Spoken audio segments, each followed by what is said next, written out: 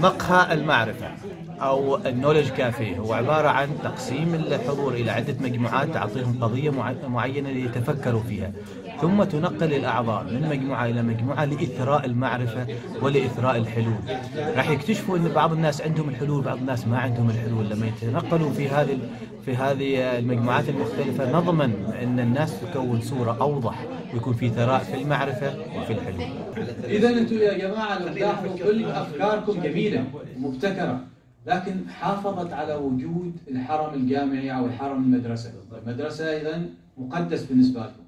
في عامل مهم في المنظومة اللي جالسين حنسويها الحين في التفكر في هذا الحل مفقود، حد يعرف؟ في عامل مهم في حلقة مفقودة كل اللي جالسين حنسويه. منهج. على كل فلوس. قرب لنا شوية ساعدنا أعطينا واحد مساعدة صديق في عنصر مهم في حلقة مفقودة. كل ذا الكلام اللي جالسين نتكلمه أنا آسف أقول نرميه في العرض الحائط ما لم تكن هذه الحلقة موجودة معنا. من استراتيجية.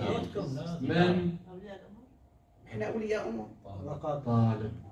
الطالب كل اللي جالس تسويه إذا لم تشرك فيه الطالب ما تتكلم مع الطالب وما تأخذ منظور الطالب وما تكون عندك ال- هدم للفجوة الفكرية. بين نحن نشوفه زين لنا من منظورنا نحن. إيش دراك يمكن يقول لك سوي لي موقع ما أريد أشوفك. هذا بيكون ال exercise اللي بنسويه بعد ال break إن شاء الله. حياك الله. من ضمن الأشياء اللي بنتكلم عنها اليوم يا جماعة التفكير التصميمي. هذا نحن ممكن نطبقه على مستوى الطلبة وكذلك ممكن آه، نطبقه على مستوى الموظفين. كيف تصل إلى حل ابتكاري عن طريق إنك تفكر بتفكير تصميمي هذا التفكير التصميمي يلخصه هذا الرسم. طبعا اعتذر باللغة الإنجليزية. هذه الرسمة موجودة من جامعة ستانفورد. بعد سمعت عن جامعة ستانفورد؟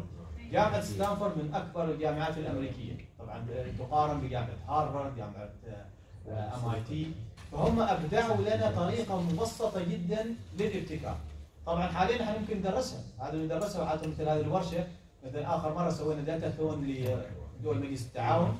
جلسنا فيها ثلاثة أيام هذه الورشة بس اليوم بنحاول نختصرها وبنعطيكم فقط كذا تدريب مبسط أساس نفهم إيش المقصود بالمرحلة الأولى الثانية الثالثة الرابعة والخامسة ونحاول أيضا نسقطها على واحدة من تحدياتنا اللي سواء كانت في الجامعة أو خارج الجامعة. طبعا ببساطة شديدة هي مقسمة إلى خمسة أجزاء راح أمشي عليها. أول شيء الإمباثي، الإمباثي اللي هو افتقدناه في التمرين السابق. إيش هو؟ لو تلاحظوا كلنا نحن جالسين نتكلم وكأننا نحن اصحاب القرار وكنا نحن أصحاب الشأن وجالسين نخطط لفئة عمرية فئة ما موجودة بيننا. أهم شيء أهم شيء فإنك لما تتفكر في الحل أشرك الناس اللي بيكونوا جزء أو مستخدمين لهذا الحل. مثال إذا بغى مثلا أنت الحين تنتج مثلا خلينا نقول منتج جديد، مثلا خلينا نقول شركة آه، سامسونج تنتج منتج جديد. ما المفروض فقط هذا المنتج يأتي من المصممين والمهندسين. فنيا هذا المهندسين والمصممين ممكن يصمموا لك أي شيء، لكن أي شيء يصمموه يكون فقط من وجهة نظرهم. بيكون في شيء قاصر، إيش هو الشيء القاصر؟ من اللي بيستخدمه؟ أنت هذا راح تسوقه لمن؟ فجزء كبير من العملية إنك you empathize with the customer، إيش يعني empathize؟ أول واحد تعاطف، مو يعني التعاطف، يعني ما فقط تساله أنت إيش تريد، تتعاطف معه، تحس بمعاناته، تجلس معه، تساله، تخليه يعطيك قصص، ودائما وهو يتكلم راقب تصرفاته، راقب تعابير وجهه، راقب عباراته اللي استخدمها، لاحظ لما إحنا نتكلم عن معاناتنا لما نجلس مع واحد. ما فقط هو كلام ما فقط قصة امراه احساس فيقول لك لازم تحس بذاك الإحساس على أساس تستطيع إنك تكتشف الحل المناسب لذلك الإحساس وليس للحاجة. فرق كبير بين حاجة وبين إحساس نتكلم عنها إن شاء الله. فمعناته تعاطف معناته تحاول أن تتعاطف وتكون صورة عاطفية مع المشكلة من خلال مراقبة صاحبة المشكلة. مرات تراقب اليوم يومين تجلس معه. تجلس معه تعيش معه. أنتم أكيد عايشتوا الموظفين جلستوا معهم. بس هل فعلا كنتوا قريبين منهم لدرجة إنكم تحسوا بمشاعرهم؟ كثير من الأحيان أنت ما قريب منه، ما قريب منه معناته مكتبي جنب مكتبة، قريب منه تعرف تفاصيل آه، حياته في أشياء خصوصية عارف، بس تعرف إذا عنده مشاكل اقتصادية مثلا، عنده ديون، عنده مشاكل مع أولاده، تقول إيش دخله هذا في العمل؟ أساس تعرف لما تعطيه آه، عمل ينجزه، تعرف هل تعطيه ولا ما تعطيه. خليني أعطيكم سؤال. امرأة في العمل متزوجة وأنجبت طفل أو رضيع هل المفروض إننا إحنا نراعيها في العمل نعطيها إجازة سنتين مدفوعة الثمن. سكوت. أيوه دكتور لحظة لحظة. هل أنتم مع ولا ضد؟ طبعا حاليا حسب القانون. حسب القانون سابقا كان أتوقع 30 يوم الحين زادوا يمكن إلى 40 يوم. 50 إلى 50 يوم. آه، بعطيكم بس رد فعل واحد من دكتور بس خليني أضيف شيء لسؤالك. تبي نعطيها ولا ما نعطيها؟ أيوه. نعطيها تراك أنت ما جاء تصور أنك في مؤسستك مؤسستك الخاصة هذه المرأة تشتغل وليس في مؤسسة عامة وبعدين جاوب على السؤال. لا لا لا إحنا إحنا نتكلم كأن عندنا القدرة. لا لا دكتور كأن عندنا القدرة ان نشرع في الجامعة نغير أو نشرع في الحكومة. إن نحن نوضع الحين قانون نشرع فيه إن المرأة لما تنجب طفل إذا لها الحق أنها تأخذ إذا حبت اذا حبت. تشتغل على راحتها لها ال- ال- الحق أنها تأخذ سنتين لاجازه رضاعة مدفوعة الثمن. بس طبعا يعني ما لازم يعني بس عاد إنها تكون رضاعة يعني. يعتمد ما تروح تشتغل وظيفة ثانية. يعتمد يمكن نحدد عدد المواليد يعني. لأن إحنا عندنا الحمد لله بداية الزواج كل سنة وكل سنتين. هذه واحدة فكرة على فكرة. 10 سنوات في إجازة. أنا ما لكم تجاوبون ما لكم تجاوبون. عشان كل واحد يرتبط بس أنا هذا فقط اللي أوصلكم الفكرة. سكتوا يعني أول ما آه، بعض الناس لما أقول لهم ذا الكلام دائما ينظر لزميلته وحقوقها. لكن لما أقول له يمكن زوجتك اسكت يمكن أختك اسكت لما زوجتك تريد تاخذ إجازة. لما زميلتك تنافس صح؟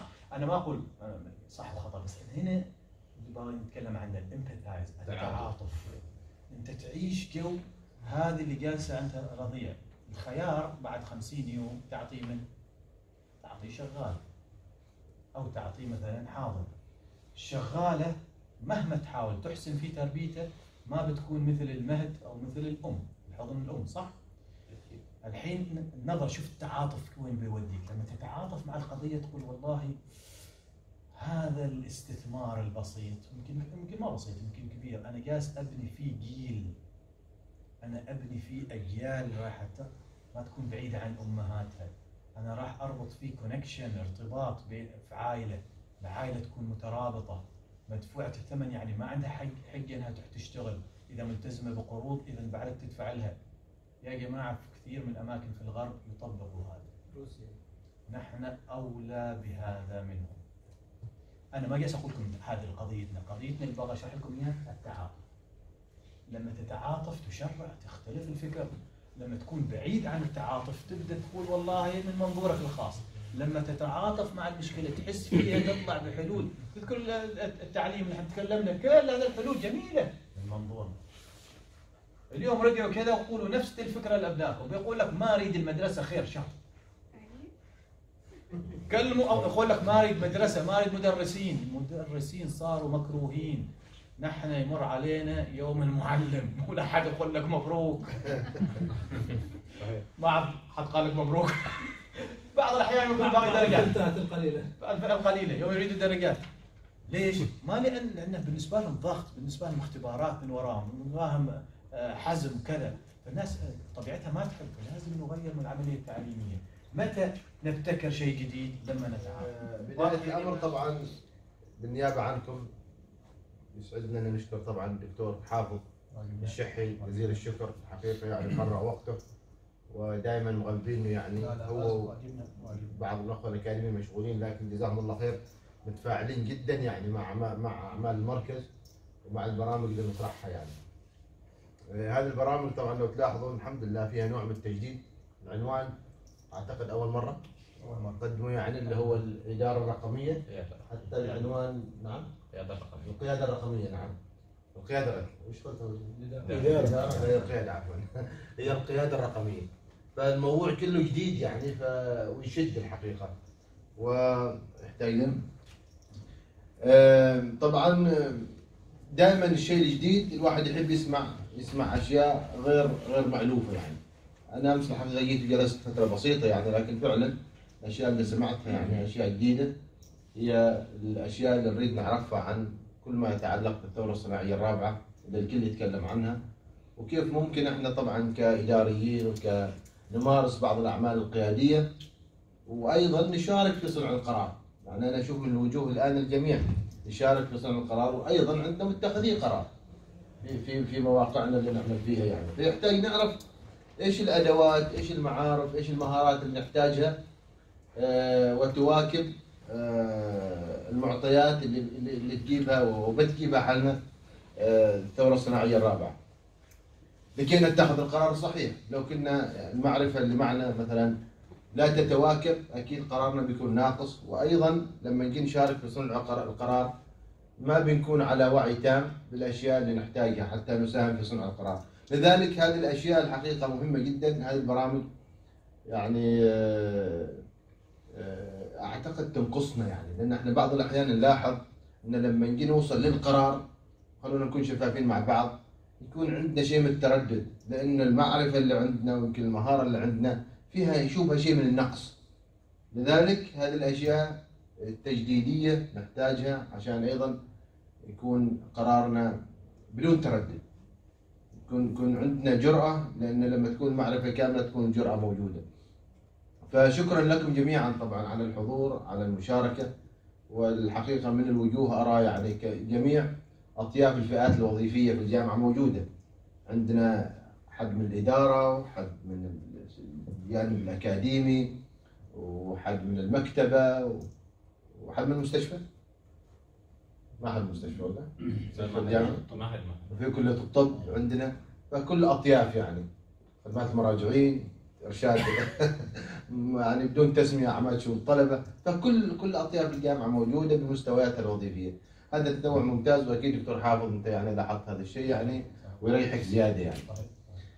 فنشكركم جميعا ما بطول عليكم لكن أهم من ذلك كلمة أخيرة نريد نطبق اللي عرفناه. أنا أمس كان عندنا برنامج آخر عن إدارة المخزون آه، وأيضا الوجوه الموجودة كلهم من المخازن، المخازن العامة والمخازن الفرعية في الجامعة، فقلنا لهم ممتاز اللي سمعناه جيد لكن يحتاج نطبقه. إذا كان في خلل معنا أو قصور في إدارة المخزون يحتاج نرجع لمواقعنا ونحاول نغير يعني ونحاول نقترح آليات جديدة، نفس الشيء إذا كنا سمعنا شيء أكيد سمعنا شيء جديد من هذا البرنامج فيحتاج لما نرجع نحاول نطبقه. إحنا حاولنا طبعا نعمل آه، في الجامعة يعني آلية لقياس العائد من التدريب ونشتغل عليها الآن إن شاء الله. لكن شوية تعطل هيكلنا يعني لحد الآن. إن شاء الله بي... إن شاء الله. نتمنى إنه يعتمد قريب إن شاء الله. ف يعني بيكون قياس العائد ممنهج. بيكون في آلية بيكون في استمارات بيكون في متابعة بيكون في قسم مختص نقيس العائد من هذا التدريب على كل واحد.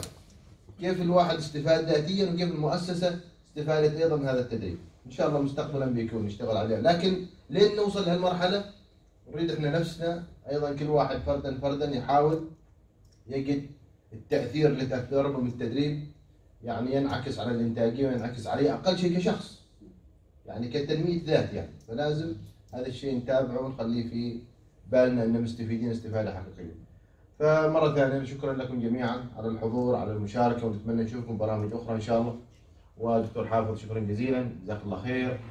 وأكيد بنشوفك إن شاء الله في برامج أخرى إن شاء الله. فأنت الحقيقة قيمة مضافة لأي برنامج. يعني ما أريد امدحك في وجهك لكن بأمانة آه، ما شاء الله عليك يعني آه، كل اللي نسمع منه جديد دائما يعني. فشكرا جزيلا جزاك الله خير شكرا جزيلا. وطبعا كعرف بسيط شهاده بسيطة. دكتور حافظ. شهادة من المركز بالنيابة عن الجامعة. تستحق أكثر من كذا أكيد يعني. لكن فقط هذه الصورة نحتاجها على أساس الفيسبوك وعلى أساس التويتر وعلى أساس القيادة الرقمية بشري بشري عشان شكرا شكرا دكتور الله يحفظك دكتور علي المرهوبي. دكتور علي. كلية الطب والعلوم الصحية. لا لا لا عليك. أنت تسلم المايك.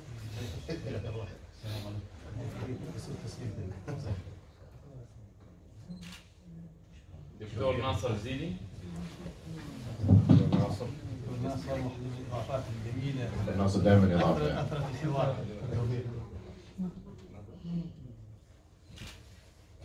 دكتورة سامية باسطي. دكتور سامية من عبانة شؤون الطلبة.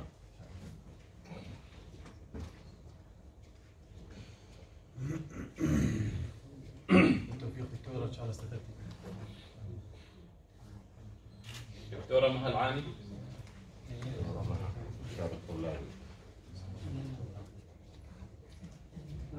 دكتورة. وسيلة البوسعيدية وسيلة.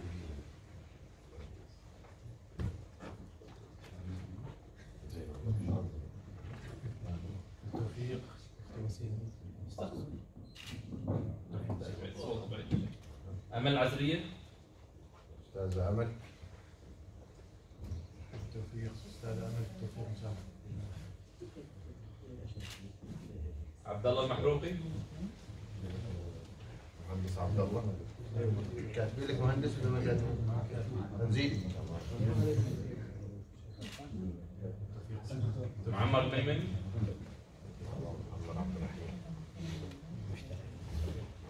أحد رموز المشتريات ما شاء الله بالتوفيق بالتوفيق فهد الوضاحي الوضاح ماشي كذا بالتوفيق أستاذ أستاذ فهد بالتوفيق رضاك عبد. الحكيم عمري رضاك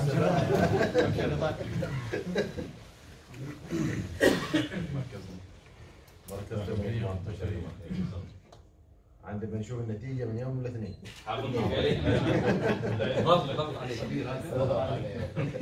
لا يلا حاضر. والله سمي المشكلة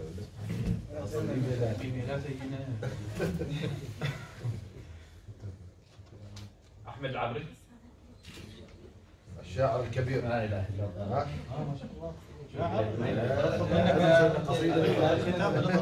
ضبطها الصورة على الفيسبوك. العائلة كلها شعراء على الفيسبوك. سعيد سديري.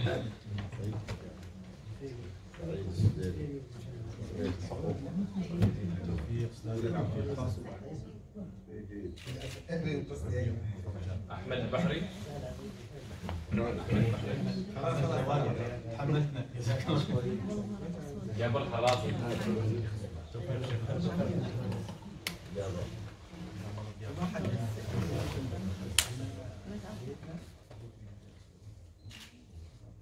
أحمد البحراني.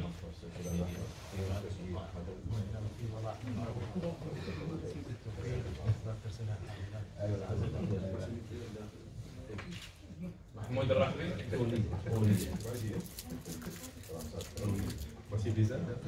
ضبط بتحصل لي وزيادة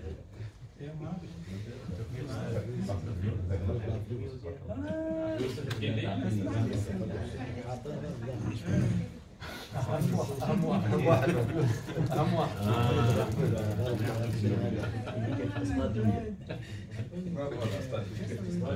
مهندس ناصر ريان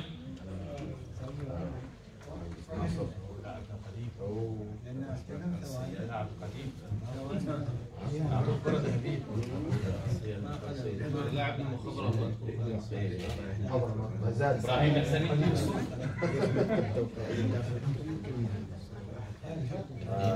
رموز المكتبة نعم نعم